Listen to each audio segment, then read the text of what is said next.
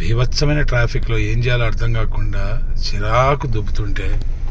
భయ్య సిన్సియర్గా పాప్కార్న్ తినేస్తున్నాడు